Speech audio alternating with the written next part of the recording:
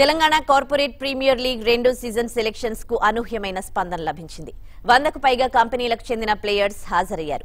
Corporate సెక్టార్లో cricket టాలెంట్ను ప్రోత్సహించే ఉద్దేశంతో సెవెన్ హెచ్ స్పోర్ట్స్ ఈ లీగ్ నిర్వహిస్తోంది. తొలి సీజన్ గ్రాండ్ సక్సెస్ కావడంతో దీనిపై అంచనాలు పెరిగాయి. టీసీపీఎల్ ద్వారా కార్పొరేట్ కంపెనీలో స్పోర్ట్స్ కోటా కింద ఉద్యోగం దక్కే అవకాశం ఉండడంతో పలువురు తమ టాలెంట్ పరీక్షించుకుంటున్నారు. టీసీపీఎల్కు టీవీ ఫైవ్ మీడియా పార్ట్నర్గా వ్యవహరిస్తోంది. మాజీ క్రికెటర్లు బి మోహన్ చంద్రశేఖర్ సెలక్షన్స్కు జడ్జిలుగా వ్యవహరించారు. సెకండ్ సీజన్ నవంబర్లో స్టార్ట్ అవబోతుందండి. అండ్ వెంకటేష్ ఒక అడ్మినిస్ట్రేటివ్గా త్రీ హండ్రెడ్ ప్లేయర్స్ ఈరోజు సెలెక్షన్కి వచ్చారు. వాళ్ళ టాలెంట్ వాళ్ళు చూపెట్టారు.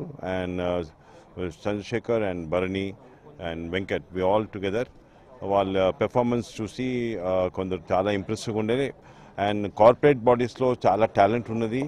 అండ్ ఈ game the game of cricket ఒక మెసేజ్ అందరికి పంపిస్తుంది ఏమంటే మీరు definitely you can develop the game and also ఒక కమ్యూనికేషన్ స్కిల్లో మీరు ఫ్రెండ్షిప్ కూడా డెవలప్ చేయొచ్చు. It's a very good tournament అండి Venkat started. And I wish TCPL all the success.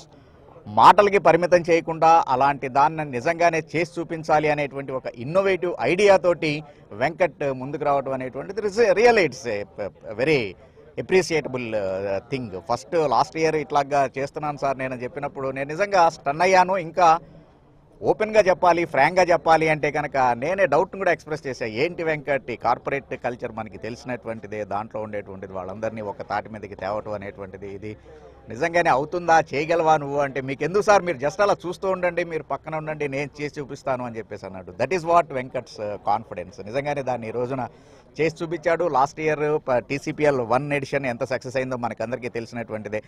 League ముఖ్య ఉద్దేశం ఏంటంటే కార్పొరేట్లో ఉన్న క్రికెట్ టాలెంట్ని ఈ టీసీపీఎల్ వేదికగా ప్రమోట్ చేయాలన్న ఉద్దేశంతో ఈ లీగ్ని ఆర్గనైజ్ చేస్తున్నాము.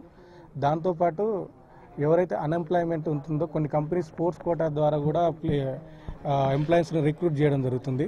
సో మా టీం స్క్వాడ్లో ఉండే పదిహేను మందిలో పదకొండు మంది కార్పొరేట్ ఎంప్లాయీస్ ఉంటారు.